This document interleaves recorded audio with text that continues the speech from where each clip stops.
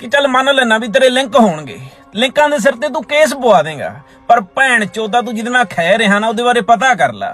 ਕਿਉਂਕਿ ਜਿਹੜੇ ਸਾਡੇ ਲਿੰਕ ਦੇ ਬੰਦੇ ਆਉਣਗੇ ਯੂਪੀ ਕੰਨੀਓ ਨਾ ਤਾਂ ਤੈਨੂੰ ਬੰਦਿਆਂ ਦੀ ਪਛਾਣ ਆਉਣੀ ਆ ਤੇ ਨਾ ਅਸਲੇ ਦਾ ਹਿਸਾਬ ਦੇਣਾ ਪੈਣਾ ਉਹਨਾਂ ਨੂੰ। ਖਾਲੀ ਕਰਕੇ ਜਾਣਗੇ ਉੱਤੇ ਹਿੱਕ ਭਰ ਕੇ ਜਾਣਗੇ ਪਤਲ ਨਾਲ। ਕੰਮ ਕੀਤੇ ਆ ਨਹੀਂ ਐਸੇ ਕੁਝ ਜੱਟ ਨੇ। ਲੋਕੀ ਵੈਪਨਾਂ ਦੇ ਨਾਮ ਤੋਂ ਬੁਲਾਉਂਦੇ ਨੇ।